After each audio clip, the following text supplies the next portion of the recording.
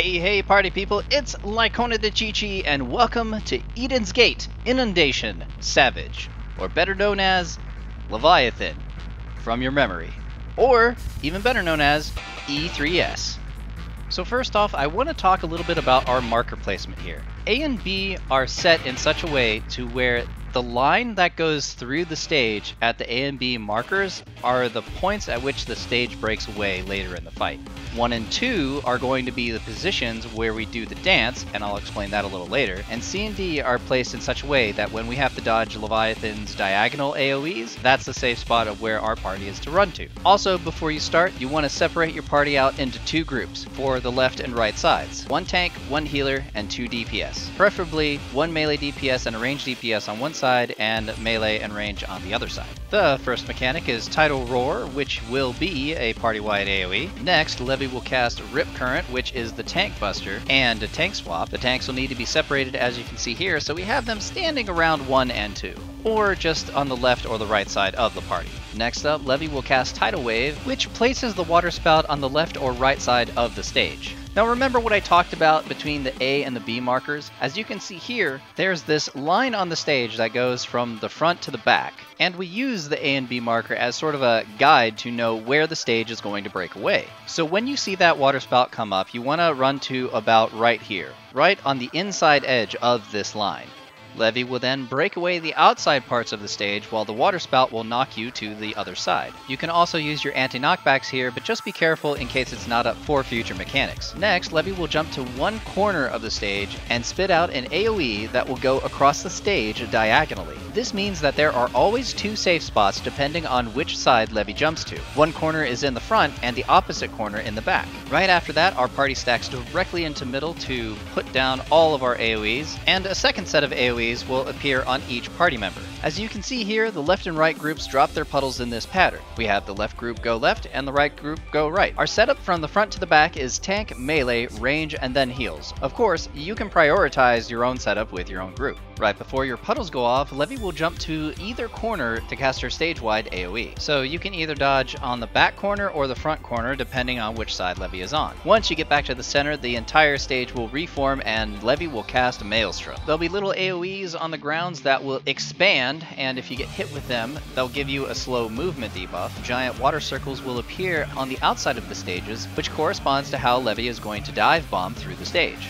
During this dodging phase, Levy will only dive bomb two times. One thing to keep in mind is during this phase, if we break up the stage into four quadrants, we can safely place our character on the quadrant that will not get a dive bomb. As you can see here, a dive bomb will only cover half of the stage, so you can use the stage lines as a marker to avoid each dive bomb. Also, try and stay towards the middle of the stage. Standing near the middle gives you the maximum amount of flexibility to dodge into the safe quadrant. And if you get hit with a slow debuff by accident, you'll still have enough time to dodge the dive bombs. One thing that I have noticed in my runs is that if you park yourself in between two of the small circles, you'll never get hit when the circles expand. Once Levy comes back, he'll cast Tidal Roar, which is a party-wide AoE, and then the next new ability is Tsunami, or what I like to call the Tsunami Dance. So each party member will get a specific buff. One member of the party will get this line debuff. What this line debuff will do is, depending on how your character is facing, it will create a knockback wave in front of you that knocks your party members away. In this case, we have our party member with that line debuff stand up behind the party and knock everybody forward towards Leviathan. Since that line knockback is pretty wide, we pre-position ourselves into our left and right groups near the 1 and 2 markers. Right after the knockback goes off, the left group should run towards the left side, and the right group should run towards the right side. The reason is because Levy will break away the middle of the stage, separating your party into two groups, four on the left, four on the right. Once again, Leviathan will jump to a corner of the stage to cast the AoE. This means that one party has to disengage while one party has to stay close to Leviathan. At the same time, each group should stack on top of each other to share the water debuff damage. Next, Leviathan will cast Tidal Roar again, followed by Rip Current, the tank buster. In this case, we have our two tanks stand all the way at the front of the stage in order to take those busters so everyone can continue hitting Leviathan. Next, Levy will jump to a corner again to cast that diagonal AoE, but this time it will always be the opposite side from the first corner, meaning during this phase where the stage is split up. If your group dodged up front, then your group is now going to dodge towards the back. And if your group dodged towards the back the first time, then your group is now going to dodge up front. It always switches from one corner to the other. One other quick thing is that the C and D markers are placed here, so our group knows how far to run away from Levy to dodge the AoE. The middle part of the stage will come back again, as well as Levy will cast another raid-wide AoE that needs to be healed through. Once Leviathan takes a little break and gets a refreshing shower, we're gonna have to do a little bit more work in order to dodge more things from Levy. Tidal Rage will be cast again, so heal appropriately. Next up is Tidal Wave, which will put a water spout on either the left or the right side of the stage. Position yourself on the line accordingly and get knocked back or use your anti-knockbacks. Once the two sides of the stages fall away, Levy will then jump to a corner. Now the difference here is that once Levy does her first diagonal AoE, he'll automatically jump to the other corner to cast another diagonal AoE across the stage. So for here on out, you want to dodge Levy's first diagonal AoE on one corner and then immediately run to the opposite corner to dodge the second one. Right after those two dodges, our party meets up in the middle, and then we get our AoEs on the ground, and we spread out into our formation here. This time, each party member will put down a puddle, so what you have to do is not put these puddles in the corners, because those are your safe spots of where you're going to dodge. Obviously, don't run into these puddles because you'll get Dropsy, which can be healed through, but your healers are going to hate you for it. After you drop down your puddles, head towards a corner to dodge Levy's diagonal AoE, and remember to run to the other corner to dodge the second one. Next up, Levy will cast Maelstrom, which is the second dive bomb phase, but this time instead of just two dive bombs, it's now three. Since the whole stage will be covered in dive bombs, you want to position your character so that you dodge into the first dive bomb after it goes off. Of course, you'll also want to pay attention to the second and third dive bombs as well, because they'll be your indicators for the true safe spot. Really, this phase, like the one before it, is all about situational awareness. And if you can dodge the first dive bomb phase, you'll be able to dodge this one easily as well. Just remember, if you can dodge a wrench, you can dodge a ball. Next up, Levy will cast Tidal Rage, which is the party-wide AoE, followed by Rip Current, which is the tank busters. Next up, Leviathan will cast Stormy Horizon. So how we handle this mechanic is that we have the party here line up on the left. Five AoEs will come out in succession, and we dodge each one of them going towards the middle. We have the two tanks line up on the right side and dodge in towards the middle as well. We have the tanks line up on the right side of Levy because as they're dodging in, it's clear to see which tank has the flare so they can disengage. The tank with the flare just goes all the way to the back of the stage. Once the party and the tank without the flare reach the middle, we'll run towards Levy and at the same time look at which side Levy is jumping to because he's going to cast his diagonal AoE. Don't forget, when you dodge the first diagonal AoE, you need to run to the opposite corner in order to dodge the second one. Once you're in the safe corner, Levy will cast a line AoE, so we just have the party stay here and not move. The flare on the tank should have already gone off, so that tank just needs to come back up and stack with the party. Meanwhile, Tidal Rage comes out as well as a lot of damage, so heal up and mitigate the damage appropriately. After all that, we have our party stack right in the middle because everyone's going to get an AoE underneath them. We have our left to right groups run to our positions as such, but this time time, we have to run all the way to the outside of the stage because we don't want these things cluttering up the middle here. Levy will then knock away the sides of the stage, and now we're into the Tsunami Dance, where everyone gets a unique water debuff. So let's go over each water debuff separately and the movements of each party member, then see how they all work in concert together to get past this Tsunami Dancing mechanic. First, a random DPS will get this debuff, which has a small dot in the middle of it with arrows pointing outward. The person with this debuff will do an AoE knockback to the party.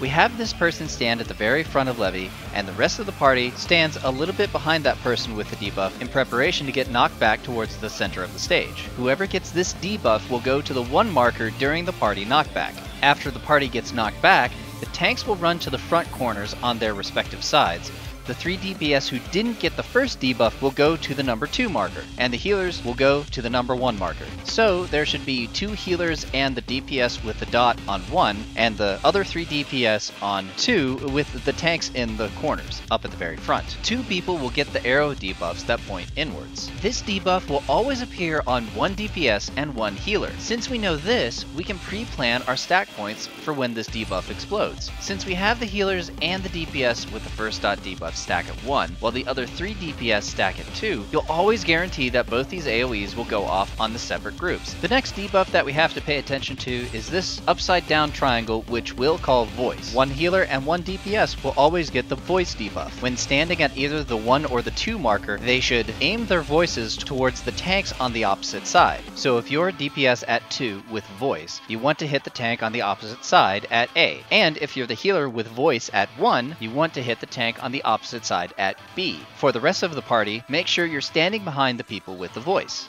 Once you see the voice mechanic go off, the DPS with the line debuff will go to the very front of the stage, then turn and face the inside of the stage to knock back the party towards the middle. Since the knockback direction is based on the way your character is facing, the DPS with the line debuff will just have to disengage Levy and turn their character towards the party to knock them back. Once the party gets knocked back, one tank will have the big circle debuff, and the other tank will have the line debuff.